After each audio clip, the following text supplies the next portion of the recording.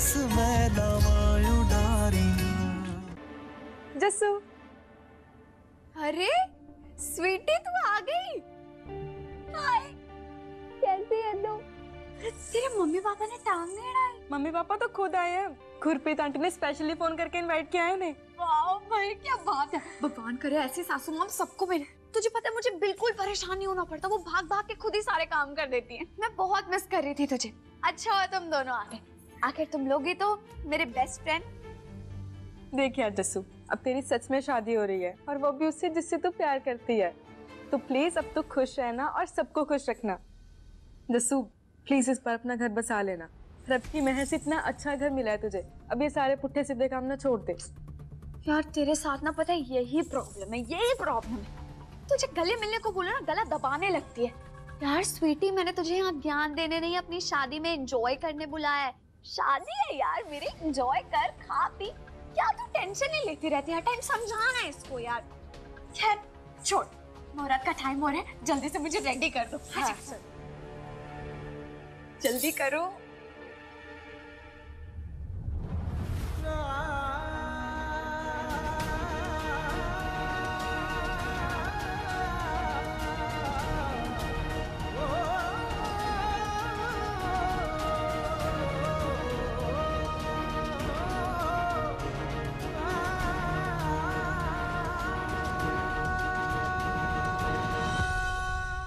तुझे याद है, फतेह। जब तू पहली बार दूल्हा बना, मैंने तुझे समझाया था कि खानदान का मान रखना है।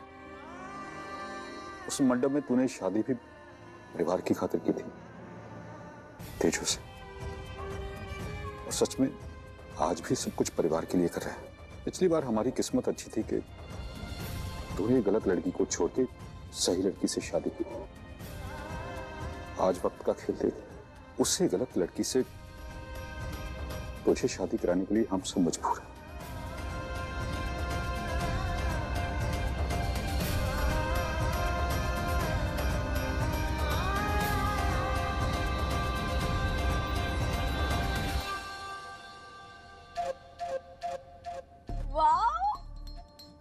कितनी सुंदर लग रही हूँ मैं। मुझे नज़र ना लगे किसी की।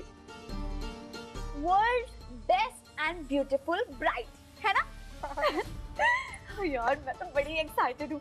लेकिन पता नहीं, अब तक मेरा दूल्हा रेडी भी होगा या नहीं? खैर, उसके रेडी होने से मुझे क्या? वैसे भी आज का दूल्हा जस्सू है। दुल्हन वो।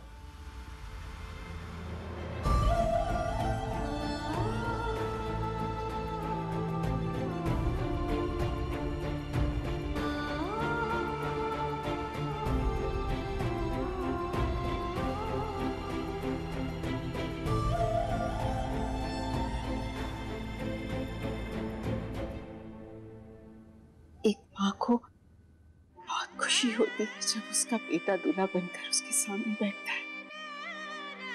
आज मेरा बेटा भी दूल्हा बनकर मेरी नज़रों के सामने बैठा है। लेकिन माँ खुश नहीं है।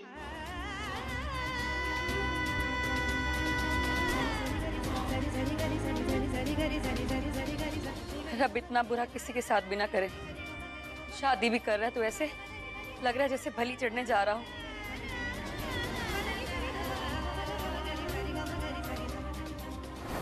रहा सबूत। मुझे। फांसी हो जाएगी। आज अगर तू इस घर से जाएगा तो मेरी लाश पर से पैर रख कर जाएगा। आप लोग चलिए मैं वीरे को लेके आता हूँ।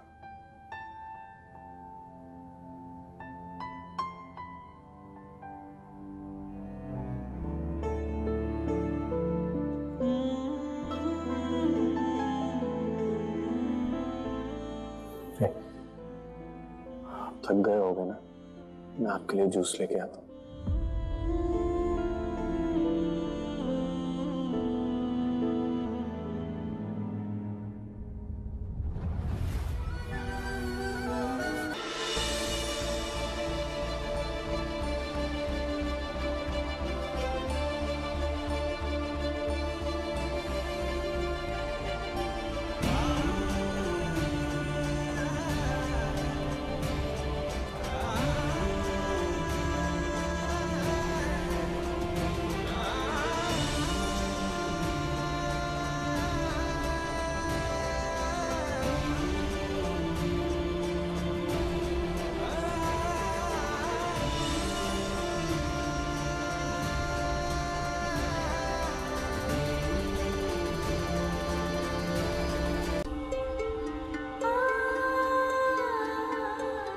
मैं आपका दर्द समझ रही हूँ, भाभी। इस समय आपको उस मंडप में बैठना चाहिए था, जहाँ वो चुड़ैल बैठी है। आप यहाँ आए ही क्यों? भले चाहे मुझे यहाँ पे कितनी भी तकलीफ़ हो रही हो। ये सब देख के चाहे कितना ही बुरा लग रहा हो, लेकिन सच तो ये है कि मैं और फतेह एक दूसरे के लिए कभी बने ही नहीं थे। और आज फतेह के इस पूरे वक्त की शुरुआत में मैं उसका सपोर्ट बनने आई हूँ। हम दोनों की फैमिलीज़ के लिए वक्त बहुत बुरा है। मैं उन सबका साथ बनने आई हूँ। और इस वजह से भी कि मेरे यहाँ ना आने के कारण कहीं जैस्मिन कोई नया तमाशा ना कर दे। तो दिल पे पत्थर रख के आ गई। कहाँ से लाते हो इतनी स्ट्रेंथ भाभी अपने सच्चे प्यार से।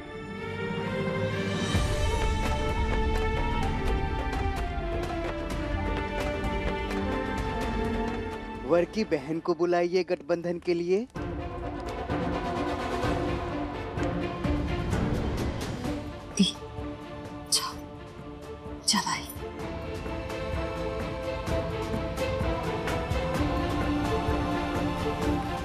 कोई ज़रूरत नहीं है।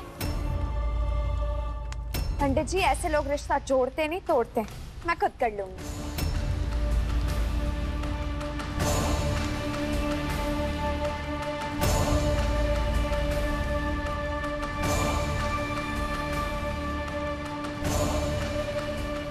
लो पंडित जी हो गया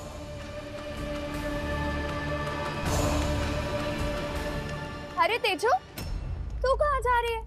इधर तेरे बिना मेरा कोई काम कैसे पूरा हो सकता है? सात तेरे होने वाले फूल नहीं फेंकेगी? आजा आजा।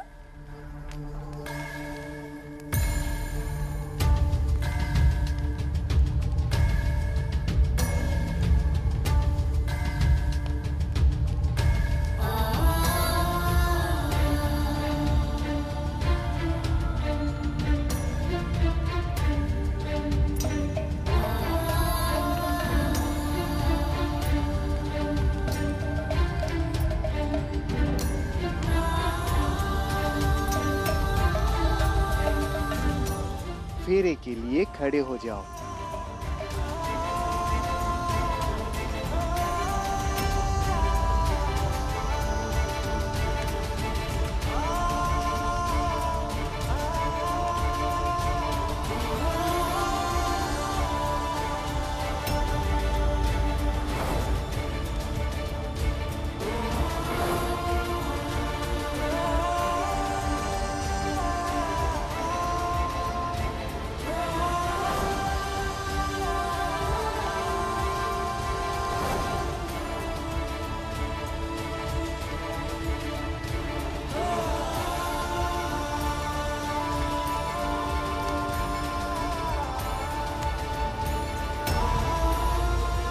बाबा जी मुझे लगा था आप कोई करिश्मा करोगे जैसी आपकी मर्ज़ी।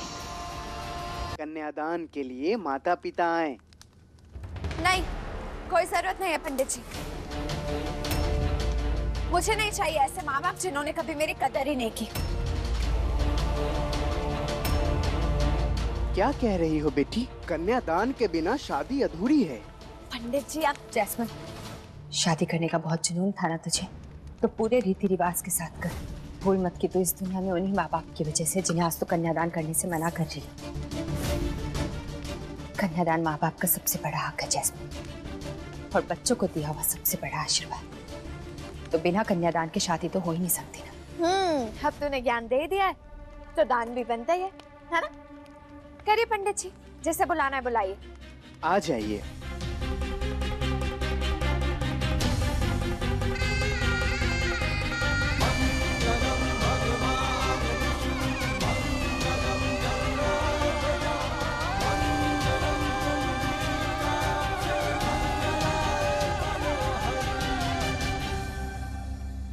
विवाह संपन्न हुआ।